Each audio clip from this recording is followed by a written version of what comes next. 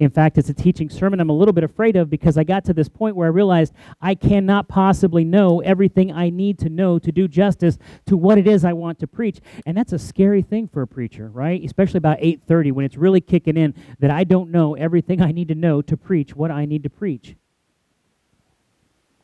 And the reason for that is because we're going to hit a subject that I, it's one of those subjects I say it's like the it's like the fudge royal ice cream, right?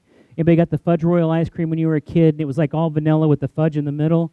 And once you hit that vein of fudge, right, you saw where the fudge was going, you kept digging that out. You're like, I can't eat this much ice cream, but there's that fudge still, and I have to keep going. And basically, you have the whole carton in the bowl by the end of the thing, except for the little vanilla on the side. Um, I was married to a woman that if we got Neapolitan ice cream, there would just be one straight chocolate missing and still strawberry and vanilla, right? So there's a lot to go over in this. Um, eventually, we'll end up in 2 Corinthians 3, but that's not going to be for a while. In fact, we'll start back at Romans 8, where we were at last week, to kind of pick up there. I don't know if you knew this or not, but nobody in the Middle Ages thought the earth was flat. How many of you learned in school that in the Middle Ages they thought the earth was flat and that Columbus was going to sail off the edge of it? Did you know they did not think that?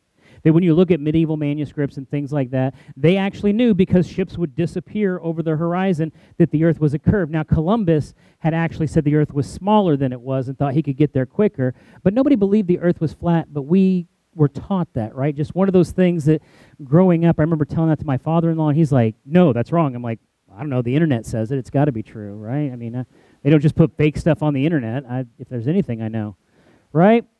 But you know what they did believe in the Middle Ages?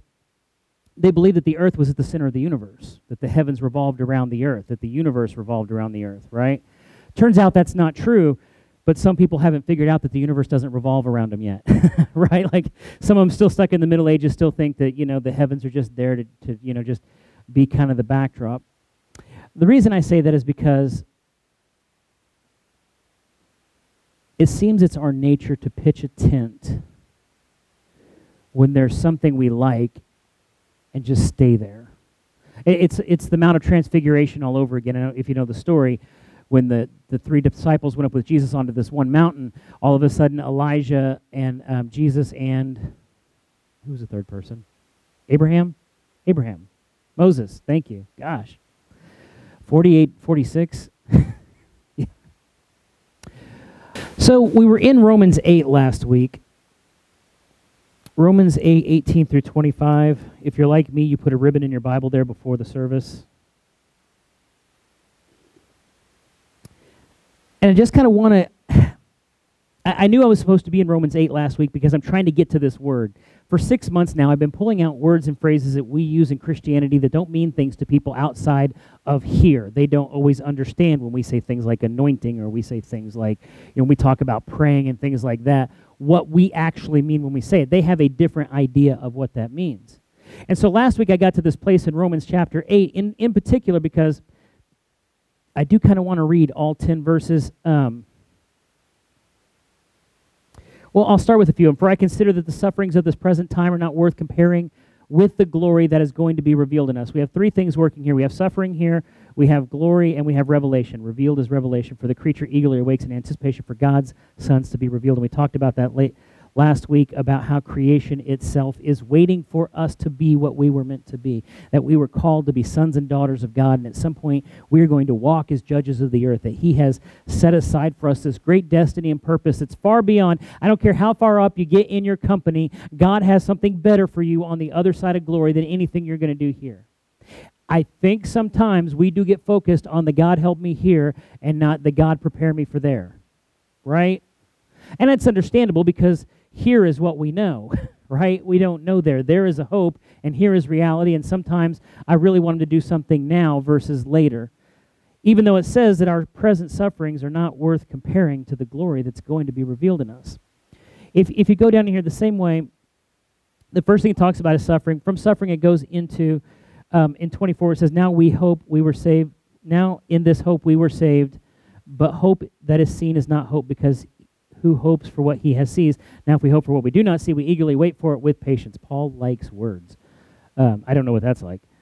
In the same way, the Spirit also helps us in our weakness because we do not know what to pray for as we should, but the Spirit Himself intercedes with uh, for us with unspoken groanings. So there comes this point where our suffering takes us to prayer, and that our prayer itself, sometimes when we're going through stuff, we're praying for God to take the stuff away. And I think part of that is we undervalue suffering. I know. You're like, hey, pastor's preaching on suffering. I'm going down for that altar call. Right? Who wants some suffering? Raise your hand, right? We undervalue suffering sometimes, and I say this because I'm, I'm a person who I feel has had my fair share of suffering, and God doesn't want me to suffer anymore from here on out. I'm okay with that, but chances are there's still some stuff He wants me to go through. In fact, I say that even the last year of the church, there's been some tests and trials and things like that that have made me stronger. I was telling Kurt and Wendy before service, it's kind of funny. I, I tore my rotator cuff or something. Um, Kristen, you know, she's she's always trying to show me up at the food pantry, so I was trying to carry more than she could. Um, and I may have tore something, right? Like, oh, that sounds not right, or that doesn't feel right, or you know, hey, remember when I could lift my arm all the way up? Those were good days. Um, but what I notice is that the physical therapy places, each time I keep getting a different colored band, right? Once I know how to stretch one band and do all the stuff with one, they give me another band that's actually a little bit stronger, right? It takes a little bit more to pull. And then when you get through that one, this week, they gave me this band, and I, he told me he was giving me one for the home and one for the office, and that didn't really register to me. When I got back, they were kind of together. And so I'm grabbing both of them, just, just you know, absolutely killing myself. And I realized, oh, wait, there's two. Um, the point being, at each place where I started to get stronger or a little bit better, they increased the amount of resistance I had to overcome. And in the life of a believer, there will be times when God expects you to overcome some resistance. I know we want that walk with God where it's victory to victory and nothing ever goes. It's all mountaintop to mountaintop. We're just tiptoeing through everything. But the thing about it is, is that there's a whole lot of hurting, suffering people out there that God needs to reach. And the only way He's going to reach is if He's got someone, one of His sons or daughters, that's strong enough to wade out into the battle of somebody's life who, who has rejected everyone else, turned everyone else down, knows all the right arguments to make when you talk about what you want to talk about, and yet can wade through all that and say, I can love you anyway because I've loved some more unlovable people than you before. I can do this, right? We want everybody that loves us to love us back, and they don't. They just don't, right? Sometimes you just throw your heart at somebody, and they're just like, meh, eh, you know, seem better, right? And yet there's something about God that he says you're going to love the unlovable, you're going to do the unthinkable. He's going to lead us across the path of people who really need him. Because there are plenty of churches out there today that are trying really hard to get people from one church to their church. And that's great. And God bless them. I don't want that. What I want is that 75% of, listen, there are 30,000 people in Belvidere, and if I give them all the credit in the world, still less than 10,000 of them will be in church today, which means 20,000 people within one mile of this building have nowhere to go where they can worship God, to be in a place where God dwells, to be loved by a brother or sister in Christ. 20,000 people, right? And those people aren't going to be reached by people who are just shuffling between churches. They're going to be reached by people who know how to love past what they're in. Amen? So suffering leads to prayer. Sometimes our prayer has to be taken over by the Spirit. There's a praying in the Spirit that has to occur. There's this moment where your spirit is in sync with God's Spirit, and all of a sudden, you start praying in a way you haven't prayed before and something changes inside of you right and he's letting he's leading you he's, he's leading you to pray for things you don't know to pray for right and then the prayer brings the revelation, right? Setting our problems on the altar makes them smaller and gives them meaning. Did you know that? That suffering without God is meaningless. But no suffering in Christ is meaningless. Because what does the end of this passage say? After all the suffering, after all the prayer, after all the groanings, that all things work together for good for those. Finish it for me. You guys know it, right? That love the Lord and are called according to his purpose. That when there is a destiny and a purpose behind what you're going through, it gives even the suffering and even the bad things meaning. But you know what? Without that, it is meaningless because that verse isn't written to everybody. It doesn't say all things work to good for everybody because they just want it really bad. It says all things work together for good for those that love the Lord and are called according to their purpose because we're moving towards something right? Do you know why I go stretch those stupid bands and they hurt sometimes? And I have this little pulley thing, and you got to pull up on the pulley to see how high you can get your arm, which this is this is way better than it was a couple weeks ago, right? And you got to pull it until it hurts, and then hold it, hang on for a second, and then let it go. I don't do that because I just really want to hurt in the morning. Like, you know what? I haven't felt this morning pain. That'd be great. Um, I do it because every day I get a little bit stronger. And when you are in Christ, everything you go through every day makes you a little bit stronger. So we get through all that to this. We know that all things work together for good for those that love the Lord, um, who are called according to his purpose. For those he foreknew, he also predestined to be conformed in the image of his Son, so that he would be the firstborn among many brothers and sisters.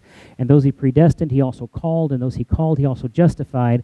And those he justified, he also glorified. So we started at suffering and we ended up in glory, right? And that's what I like that suffering takes us to prayer, prayer brings revelation, and revelation shows us the glory of God. God's glory should be the ultimate destination of all our prayers. We have heard, do everything for the glory of God. I've heard this word glory just over in the glory land. I've heard glory, glory, glory. Somebody touched me. I've heard more songs with the word glory in them than there are sands in the ocean, right? And yet, if you'd have asked me two weeks ago, what does glory mean? Right? If I were to stop and, and wait for definitions of it, and I know this because I listen to a lot of smart people this week. And the funny thing was is how many of them borrow from each other. Like if they use the exact same thought on the exact same verse, you're like, one of you thought that first. Okay, one of you.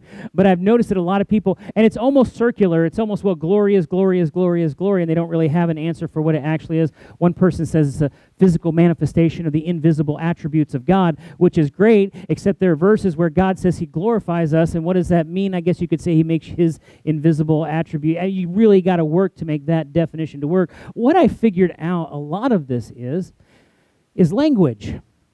For instance, if I were to ask you to define the word run, there's more than one definition. My favorite is the word set, S E T, has over 400 definitions for it. Did you know that? You can set a bone, you can set something on the table, you can set down for a while. They're all sort, not set down, that's wrong, that's sit, right? But there are like 400 different definitions. The word run's another one. Your nose can be running, your car can be running, your refrigerator can be running, you can be running some errands, you could be running down the street. There's all kinds of things that you use the word run for, and it means different things. And I think when you look through Scripture, you will find that there are there's glory and there's glory. In fact, I've kind of separated out between there's small g glory and there's big G glory, right? Like there's glory like that that we can possess and that we attain and that and that God gives us and things like that. And then there's glory, glory. And I'm not going to get too much into the glory, glory this week because I'm not ready. I I'm reading Mo, uh, Moses asking God to see His glory and how afraid I would be to say that prayer even in here by myself with no one else around because I understand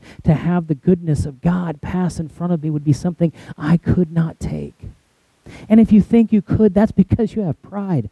I'm just telling you.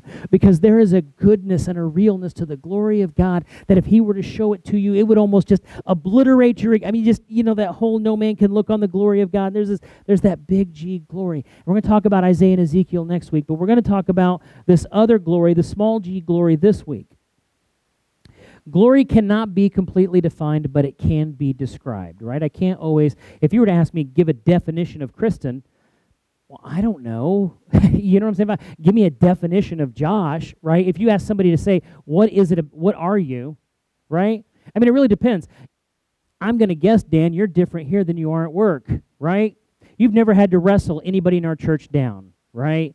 You've never had to been like, you know, Joni looks like she's getting a little uppity there. I'm just going to jump over the chair and tackle. You've never had to do that here. At work, you have to do that. So somebody that knows you here, if they were to define you, would give a different definition of you here than they would at work. Now, there are parts of you that are still going to be the same, though, right? There are parts of you that are at the core of you, and the people that know you best know those parts never disappear. Some people are such chameleons that they completely disappear depending on where they're at next. They go from one place to another place, and everything they were here, they change for here, and then they change again for here. And we know we go to church with Christians, right? We'll do the Christians, right? We don't, you know, with people who are only this way when they're here. Amen? You can say it. You know one of them. You might be one. I don't know. I'm not judging. I am judging, I guess, right? I mean, you're saying it, you're judging.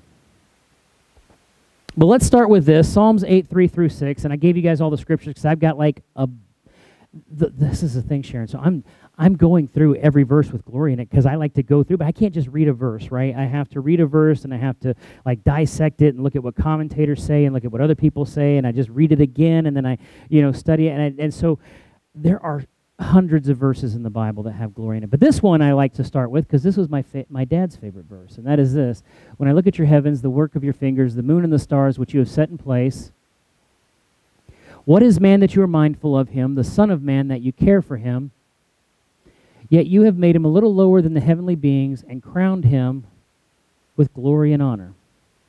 One of the first things you hear about glory, especially if you're like me and you like to study medieval authors, and hey, who doesn't, right? Is they were really against any personal glory, right? Anything that said, hey, if you draw any attention to yourself or say anything good about yourself, that's bad. Can I tell you that humility is not the same as self loathing? Can I tell you that? Not liking yourself is not the same as actually being humble. Because let me tell you something I know from having dedicated a baby or two.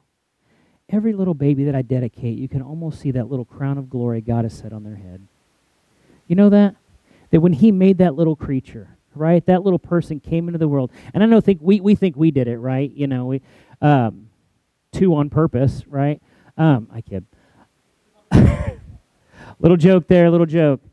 Um, but God is the one that gives them that life, and when that life comes out, you can almost see, like they're in the hospital, when it first cries, when it first moves, right? That God meant for those fingers to move. God meant for those toes to move, for that voice to make sound. That He made this little creature just a little bit lower than the heavenly beings. We're not up there. We don't have all the knowledge and all the strength, maybe that. But you know what? He made us like we are. He just puts a little crown of glory on us. Let me tell you something about humility. There is absolutely nothing wrong with a son or daughter of God wanting their father to look at them and be proud. In fact, I would hope most of you want God to look down on you and be happy with what you've done today. I lay down every night, and those are the conversations I'm having with him as I'm going to bed. You know, is kind of what's happened during the day. And I want him to be happy with how I did my job, how I run the church, how I do the administrative things, as well as the ministry things. I want God to be happy with that. And that's not being vain and that's not being prideful. That's just, I want my dad to like this. Look what I made you, Dad. Look what I made today. I made accounting decisions right? Here's your accounting decisions. Every one of you, when you go to your job, you're actually supposed to do it as unto the Lord, right? Which means at the end of the day, whatever you do in whatever job you have, whether you're at home or a corporation, at the end of the day, you can hand that to God and say, This is what I did today, God.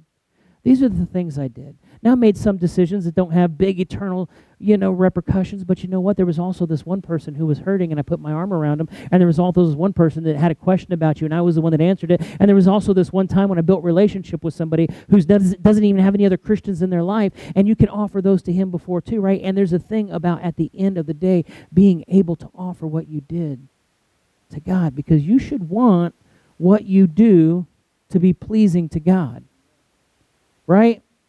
And I know, Robin, we're all worms, filthy worms under the foot of, you know, I, I, I get that, right? That's very Calvinist.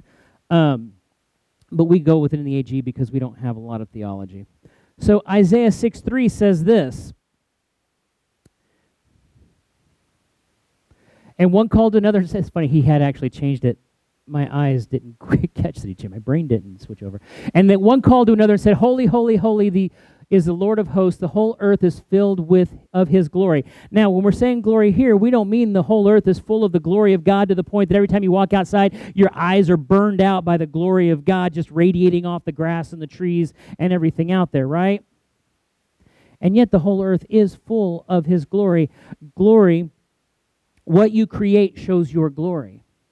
I, I have this great thing. I, I got into some of the, I didn't get way into the advanced math, but I got far enough into math to know this. There's a thing called the golden ratio.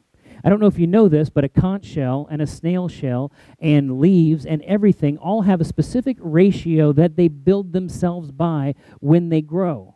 And it's called the golden ratio. Look it up sometime. It's like a number. It's like one point something, something, something, whatever. But it's the reason why it grows into a perfect cone. It's the reason why an oak leaf grows into the shape. Not just that the oak leaf grows into the shape, but the same shape, that same formula that grows the oak leaf into the shape that it makes, also makes the trees all about the same shape. When they're left with nothing else interfering from the outside, they all grow into this little bulb shape, don't they? Why is that? Because there's a specific ratio built into all of creation that mathematically they're always going to end up the same way. It's almost like God just put his little fingerprint right on that thing. right? I, I, say it's like the number pi, and I, am getting really nerdy today. We're getting we're getting super nerdy. If you take the number pi, it's 3.14, and then it goes off into infinity with its digits. It's what's called an unreal number, meaning the number has no end. But that means if you took the number pi and you calculated it out far enough, you would find your birthday in there. If you calculate it out far enough, you would find your social security number in there. If you calculate it out far enough, you will find all information that has ever existed inside of that. Right? And it's just one little number. And you know why that number is that number? Because that number shows up everywhere in nature. That whenever we make a circle, that number pi comes into play. Anytime you take a certain amount of curves and you make them 360 degrees, that math always works out the same way because there is on God the fingerprint of everything He's ever made. Right? It's the same way with you. Did you know that? That everything you do, you're leaving your fingerprint on, you're making it, you're doing it and there's a little bit of your glory you're putting into it. Right? John makes pictures at the crafting thing on Fridays. Is John here? Uh, uh, yeah, right, John? John makes these pictures at the crafting things on Fridays, and I always see him when I come in on Sunday morning. That's one of the first things I see is what picture John has made that week, right?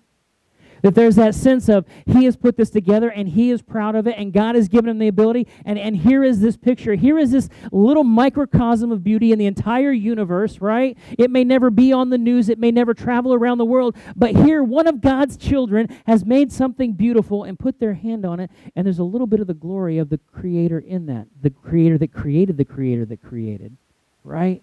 That God created you to make things right? To build things, to make the world more beautiful. Do you think God put us here to make everything uglier and more terrible, or did He put us here as champions of grace, as trophies of grace, right?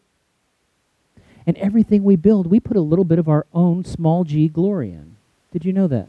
That includes your kids. Did you know that? I, I, I, might, I might begin ahead of myself there. Let me, get, let me go down. Matthew 5.16 says,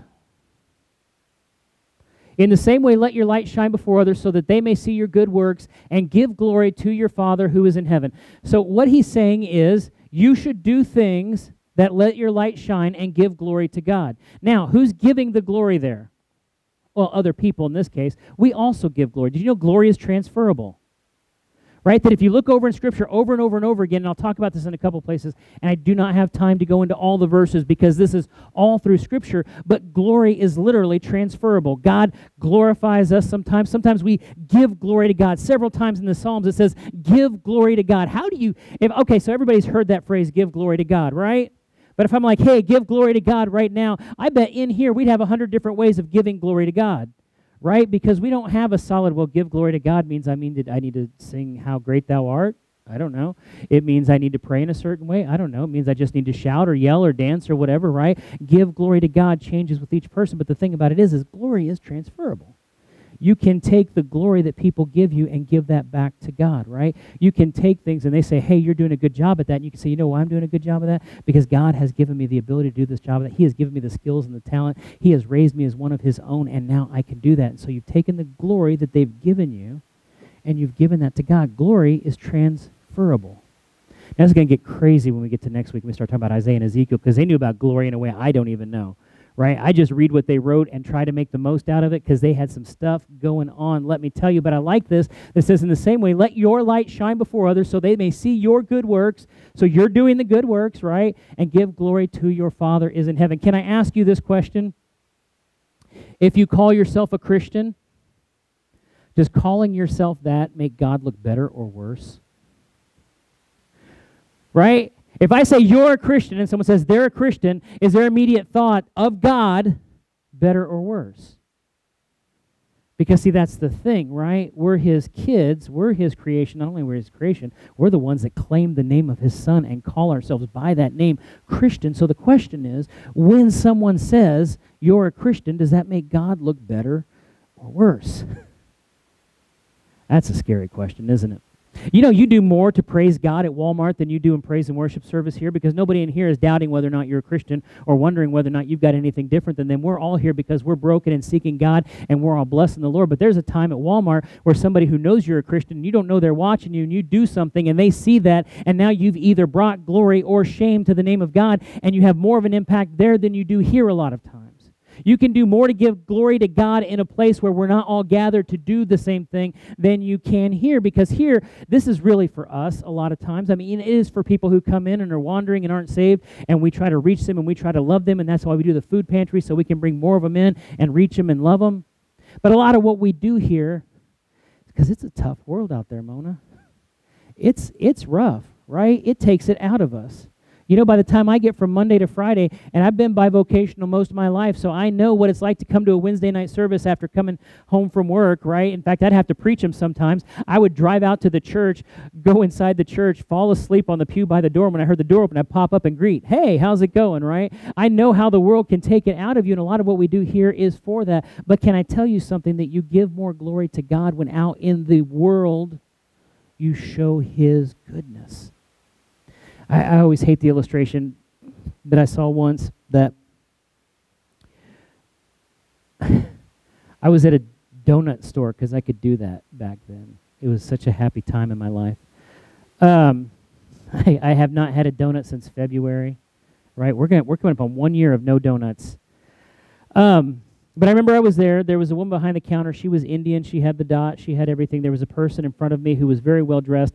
He was obviously going to early service. I was going to late service because I'm still in shorts and a t-shirt. He got a really nice car out there, and his wife is in the car, and she's just dressed to the T's, and he's dressed to the T's, and the woman behind is struggling to get something done, and the man is sitting there going, you know, tapping his foot. Oh my gosh, are you going to hurt? I mean, really just giving her the business over her not getting his thing done. And I'm thinking, she knows you're a Christian. She sees it Sunday morning. You're dressed up and getting in a nice car with a nicely dressed person. There's absolutely no thought in her mind that you're not a Christian. That's who she thinks you is, and you're treating her like garbage. You're going to go and praise God and sing how great is your how great is our God. He might be, but you're not showing it. Amen. All right. We'll get nice here in a second, um, I promise. I say that a lot. In the New Testament, there's a New Testament word for glory, there's an Old Testament word for glory. In the New Testament, it's doxa, and it means reputation, right?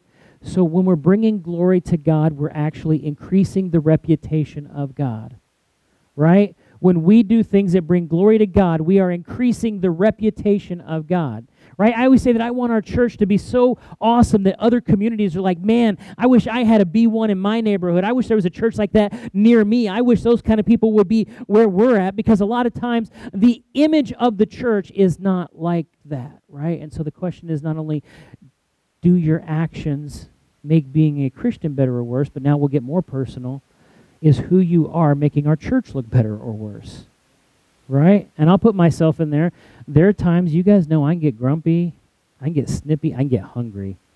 You know, when I get hungry, that's the worst because I don't want to talk to nobody or do nothing, right? And I still have to snap. And it was so funny because I was, we were at KFC last night um, because it was late at night and we wanted KFC, right? She had, you know, Kristen's been doing this calorie thing, so she's been saving all her calories for this moment. So, do you know that if you have not eaten much all day and you're saving all your calories for one grand, you know, thousand calorie meal at the end of the day, basically, right? That she checked the bag. right? So when they brought the bag out, because it took them a few minutes, because we did the Long John Silvers and the KFC, we're getting the full buffet going, right? And she's like, "No, check the bag," right? So checks the bag. There's no wedges yeah, we're not going to let that go if we've been waiting all day for this. So, of course, I have to be the one that goes back in, and I tell the lady, hey, uh, we paid for wedges, there's no wedges. She's like, did you check in the box? I said, yeah, I checked in the box. And she started to argue with me a little bit, and I, and I, was, and I almost argued back, but I stopped, and I was like, I was like, I can go check again if you want. And I realized in that moment she remembered who I was. I don't know how she knows me, but I know she did because she looked at me, she blinked, and her personality changed. right? like, like I wasn't going to argue. I wasn't going to be mean because that's that's not who I want to be to somebody who doesn't. You know, I always say, don't be mean to cat to the people at the register. They can't defend themselves. They have to be nice, even when you're a, a monster, right? They still have to be thank you and my pleasure, right? You know, so always be nice to them. And and so I was trying to, but I realized that there was that part of me that did want to argue, and there was that. Part. Of course, I checked for the wedges. My wife, and and if I'm being completely honest when my wife noticed there weren't any, I was not super enthused about going back in. How many husbands know what I mean when the wife's like, they don't have something in here, you got to go, I want to go back in. I don't want to talk to them again, right? So I was already not at my spiritual highest going back in, but I knew I did it. I sucked it up. I got in there. I did it. And I realized that when she realized who I was, not only did her personality change, she said, I'll get you those. And she goes back and gets it. And then she takes two cookies and puts them in the bag, too. And I wanted to say, What are you doing to me, lady? Um, but she all of a sudden became really nice and really helpful and all that. And I realized it was because she knew who I was. She's been either to the pantry or she's been here to church or she's seen me on Facebook or something, right? So the question is, how do your actions out in the real world make the church look? Right? Because part of our mission, I don't want our church to grow for growth's sake. I don't want us to be bigger for bigness' sake. I want our church to grow because there's 20,000 people that have no idea that we're here doing the will of God, loving on people, and trying to see His kingdom come. Right? That there are people who are going to go to bed tonight thinking nobody loves them, nobody cares about them. Do you know that suicide is overtaking automobile accidents and the number of deaths per year? Did you know that? Suicide is just on a rocket. And it's because there's no hope. And because when there isn't any hope, there's no one to say, hey, I can give you hope. Because the church is still worried that they're going to think we're Christians. Right? Just like a Wednesday night, I've got about seven more of these, and it's 10 till, and I told them to bring the kids back in at, at noon. Um, we're going to bring the kids in. We're going to do communion at the end, but I want to do it as a family just to kind of prepare you for that. So when you see the kids come marching in, that's on purpose, unlike some of the other things I've done this morning. Psalms 29 verses 1 through 3 says this. We're going to talk about glory moves upward. So Psalms 29 says, Psalm of David, is, ascribe to the Lord, O heavenly beings, ascribe to the Lord glory and strength. Give him glory. So we can, our glory can flow upwards to God. Our glory. I know it's a weird thing to think about because whenever we use the word glory, we're always talking about the glory of God. But what I'm telling you is, you have some glory. Somebody likes you, right? Somebody actually thinks highly of you. Somebody actually would be surprised if you were to do something mean and out of character. Did you know that? And that is part of your glory. It's part of your reputation. It's part of what people think about you. And that can flow upward. It says, Ascribe to the Lord, O heavenly beings, ascribe to the Lord glory and strength. Next verse says, Ascribe to the Lord glory, due his name, worship the Lord in the splendor of his holiness. The voice of the Lord is over the waters. The voice of the Lord thunders the Lord over many waters. Oh, I love that, right? I just I love the imagery of some of these psalms. Like when we sang Psalm 46, you're with us in the fire, with us in the battle. Oh, I love that, right? And we're ascribing glory to the Lord for all of the things He does. Nature itself has His imprint. We should be thankful for that. We should be thankful for the people around us that have God's glory. You know what? That's why we, I don't know if you know this, but most of the people here, there's a few of you that don't like us, but most of the people here like each other, and we like being here. And there's something about when other people come here, they just end up staying for a while because there's this sort of glory going around where we're all glorifying each other and we're all glorifying the Lord. It's okay to glorify someone else. Did you know that. I can say something nice about somebody else, and, and I don't know why the thing well, but their head will get big. If I tell them they do that well, they'll just think, you know, that's just them and that's not the Lord, and I got to keep them humble. It is not your job to keep anyone humble. Okay? Who opposes who opposes the proud? The Lord opposes the proud and gives grace to the humble. So if somebody has a real problem with pride, whose job is it to knock them down a peg? The Lord's, right? According to Scripture. I don't know why it is. Sometimes we think, you know, that person's pretty uppity with themselves. I'm going to take them out at the knees and just show them the love of Jesus. Amen? Right? I'm just going to. I'm just going to let them know how much they need to be in their place. God bless them, right? The Lord opposes the proud and gives grace to the humble. We more we need to worry more about encouraging and edifying and building up one another. Amen. Next, glory moves downward. John 17, 1 says, When Jesus had spoken these words, he lifted up his eyes to heaven and said, Father, this hour has come. Glorify your Son, that the Son may glorify you. Anything Jesus does, he does as an example for us. He is God made flesh, and yet in the garden, before he begins the most passionate prayer of his ministry, the only real full prayer, like, like the Lord's Prayer is his public prayer, right? That's his I'm in front of people and I'm teaching you a prayer prayer. John 17 is his I'm about to go to the cross and it's breaking my heart. And even as I'm crying here, my disciples are going to fall asleep sleep. They're going to leave. They're going to flee me. And all of these things are going to happen. What is the first thing he says? Father, glorify your Son that the Son may glorify you. Glory flows downward and glory flows upward. God wants to glorify you past, present, and future tense. He wants to make your past not so bad. He wants to make your future, your present better, and He wants to make your future awesome. Next, I'm trying to get through a couple of these faster. Glory can be given, and here's an interesting one glory can be taken away. Job 19 9 when Job is talking about the things he's going through, he says, He has stripped from me my glory and taken the crown from my head. And he's saying that God has stripped my reputation. Most often, I don't think we need for God to do that. I think we do a lot of that on our own. Amen. Our actions can bring disgrace. On, I, I don't want to get too much into that. It's kind of depressing, right? But we've seen it. If you live long enough, your heroes will fall, right? If you live long enough, the people you look up to, they're going to do something. If you stay, if you watch me long enough, I'm going to trip and fall, and you're going to be like, I didn't can't believe Pastor tripped and fall. Turns out I'm a person, right? And if you live long enough, that's why old people, we don't have heroes. I remember my dad telling me that. We went to see a Hinson's concert. Anybody remember the Hinsons?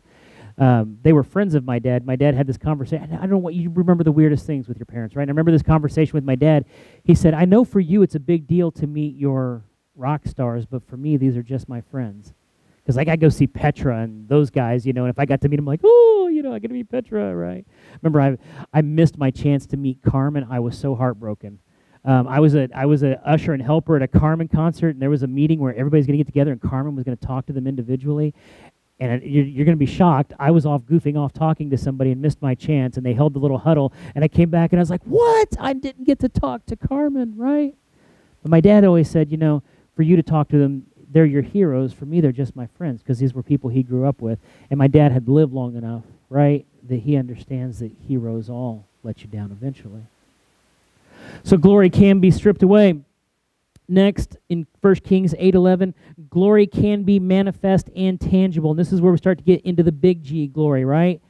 Um, this is about when the first temple was dedicated. It said that the priests could not stand to minister because of the cloud, for the glory of the Lord filled the house of the Lord. This is what people think about when we talk about glory is that tangible, physical times in the Old Testament where the glory comes down like that. And I would even say that in the New Testament, in the book of Acts, when it's talking about tongues of fire, right, that I'll bet you that atmosphere was so full of glory right? So that it came down and it filled the house. Glory can be tangible. In the Old Testament, glory means weight, right? It means kabod. It means something that has weight. They say that something that has weight is more important than something that doesn't have weight. If you're holding two things, if I were to pick up a plate and one plate was really light and felt plasticky, and one plate you pick up and it feels really heavy, you think, well, this must be the more expensive plate. There was that same sense. That's one of the reasons why gold became so valuable. One, because of its rarity. Two, because it was one of the heaviest metals they had right? So anything with gold on it would have more weight.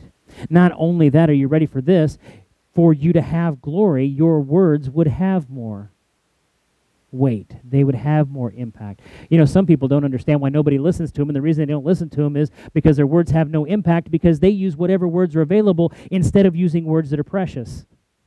Are you ready for that? They'll pick up whatever light words will get them through the situation. They'll say whatever they have to say because that's what they want to say because it's the easiest thing to say, so that when you go to say something that is real, all of a sudden people won't listen because your words don't have any weight. They don't have any glory. Go ahead, come on in, kids. You can come on in. We know, hey, stomp, be loud. I told somebody, I don't think God has any problems with kids in his living room. Amen? Anybody a grandparent who's like, man, I wish these kids would stop coming over to the house making a mess? You're like, make a mess, kids, as long as you hang out with mom and dad, right? As long as you hang out with grandma and grandpa. I'll just kind of say these last two. Um, God, glory is revealed in our victory. Um, Proverbs 25 2, just real quick because this verse is going to come back up. I don't know why God is speaking this particular verse to a lot of people all over the world right now. I've noticed this from time to time as a preacher that God moves in such a way that multiple people hear the same message. And He has been saying to a lot, it is the glory of God to conceal things, but the glory of kings to search things out. It's our glory to search out the hidden glory that God has put around us and in creation. And then lastly, God glory is also revealed in our defeats. In 2 Corinthians 12, 9, it's talking about Paul's thorn in the flesh, but he said to me, My grace is sufficient for you, for power, my power is made perfect in weakness. Therefore I will boast all the more gladly of my weaknesses, so that the power of Christ may rest upon me. Even in moments where we don't get over things, glory is still revealed. T.D. Jakes said, that in between every stage of glory is a stage of affliction. You go from glory to affliction to glory. The trick is to not stop at affliction, right? A lot of us stop when we get to the hard part and we never get to that last part, which is in Second Corinthians. Turn there with me if you would. If you have your Bibles, we're going to finish with this in Second Corinthians chapter 3. If you're like me, you put one of your ribbons in there. If you're like me, you have multiple ribbons in your Bible and you can actually mark multiple places. I think it was um, Nathan was like really impressed that I had like multiple ribbons in my Bible. Actually, I was too when I got it. See, I make fun of you. I was super impressed with that. I was like, oh, it's got multiples. I can do that. In chapter 3, and I don't have time to do the whole chapter, I, I really want to because I love the chapter so much. There's so much good in it. Let's just go down to 17 because we're at 12 o'clock. And it says this Now the Lord is spirit, and where the spirit of the Lord is, there is freedom. Amen. We ever sang that song? Woo! We, now listen to this, we all with unveiled faces are looking as in a mirror at the glory of the Lord. When he's talking about unveiled faces, he's talking about when Moses came down from the mountain after getting the Ten Commandments, his face was shining with glory to the point they had to cover his face because they couldn't look at him because he was shining with the glory of God as he came down from the mountain. And now what he is saying is because we have Christ, we look at the glory of God with unveiled faces. We don't have to shy away or be hidden from the glory of God. It says, with we all with unveiled faces are looking as in a mirror at the glory of God, and we are being transformed into the same image from glory to glory. Remember the picture last week I had of the family with all the mullets? The whole family had mullets. The more you look at Christ, the more you follow Christ, the more you're going to change into the appearance, right? The more your life is going to change and mold and become like that, so that you'll have the same mullet Christ would have had if Christ had mullets. It's the only fashion accessory I can think of. Um, you know what? In the 90s, we thought it was cool. Billy Ray Cyrus had one. We were okay with it. I wanted one at one point, but I was in the military and we couldn't grow one. I even thought about sneaking a rat tail in there. Remember rat tails? Oh, Lord Jesus.